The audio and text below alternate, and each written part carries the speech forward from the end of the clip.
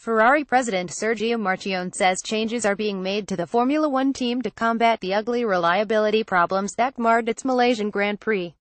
Sebastian Vettel had to start last at Sepang after engine problems affected his Saturday, while Kimi Raikkonen was unable to take his second place on the grid due to similar issues. Ferrari identified the failure of a component relating to the engine's air intake system as the problem on both cars. Marchionne said that was the consequence of a young team in the engine department, and that action was being taken. Yesterday both Ferraris could have won the race, he said at an event in Rovereto in Italy on Monday.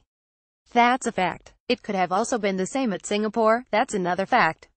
It's also a fact that we've got some issues with our power units because we have a young team, but also because the quality of the components is not at the right level for a race car. We are intervening and we are working on it. It's almost fortunate we haven't had that problem until the Malaysian GP, now we're working on the quality department and making some organizational changes. Having this kind of problem during the race make us angry.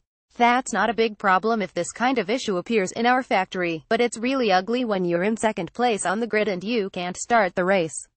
Vettel was able to recover to fourth place in the race, but with Lewis Hamilton finishing second the gap between them in the World Championship is up to 34 points. Ferrari trails Mercedes by 118 points in the Constructors' Championship with five Grand Prix remaining. Share this article on Facebook, Twitter, LinkedIn, Google email.